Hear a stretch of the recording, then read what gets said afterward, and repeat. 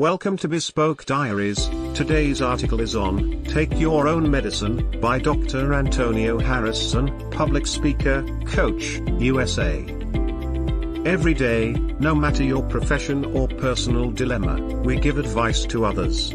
It can be something as simple and meaningless as your opinion on whether or not someone's outfit matches or something as critical as the voice of a safety protocol manager for a power plant, sharing his unique perspective and tips on keeping everyone safe that does not reside in the training manual. I spend my whole day giving advice. It starts with my children and keeping them safe as well as sharing as much wisdom as I can to allow them to navigate their journey.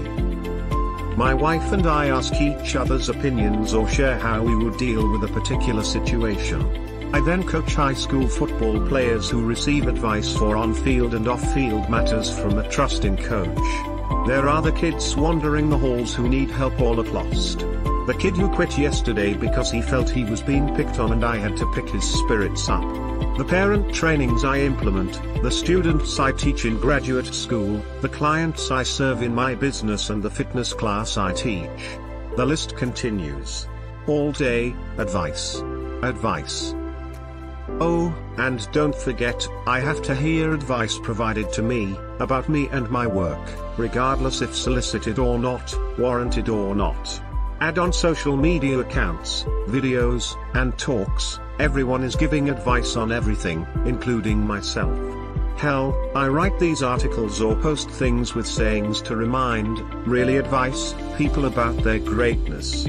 What gives me the audacity to think I can provide advice to anyone?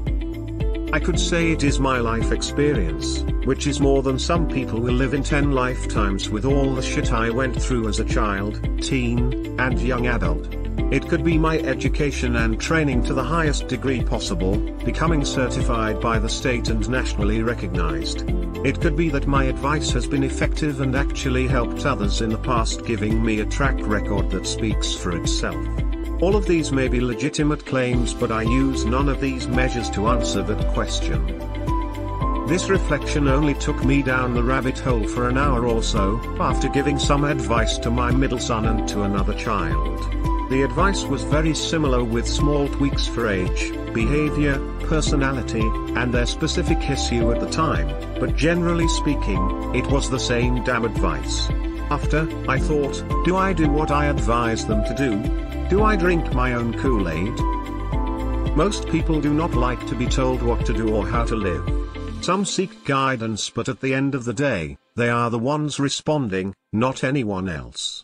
We can manipulate environments and put contingencies in place to increase the probability that some shit will get done but there are no guarantees. What helps?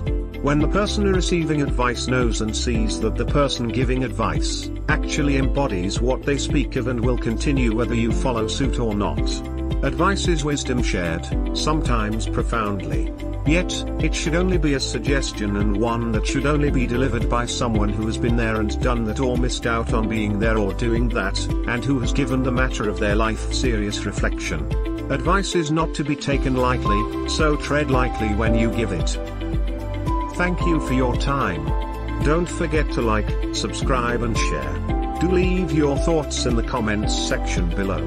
For similar type of article please reach us at contact at thebespokediaries.com or you can visit our website www.thebespokediaries.com.